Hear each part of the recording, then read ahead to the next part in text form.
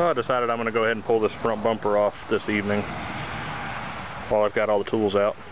It's just four bolts hold it on. It's a little bit twisted on this end. It's kind of bent under. And on that end, it's bent out. And that's from when it was being pulled with a tow bar. Okay, all the bolts came out with no problem all four of them and bumper is ready to remove and it uses the same bit as the track bar bolt the T55 Torx bit.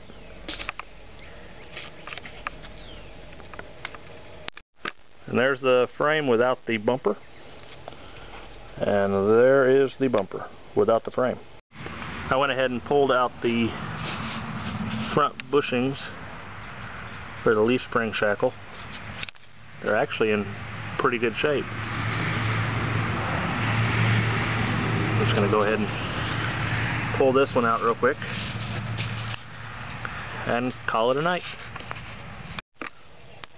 On taking these bushings out, I just tapped the sleeve through with the end of my 3 8 inch extension and then use a pair of channel locks to turn the end of the bushing to break it loose and then they just slide right out.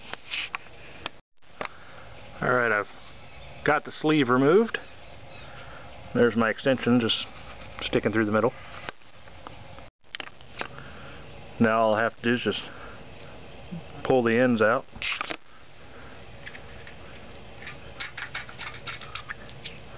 And that's it.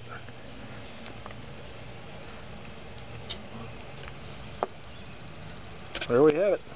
One complete bushing removed.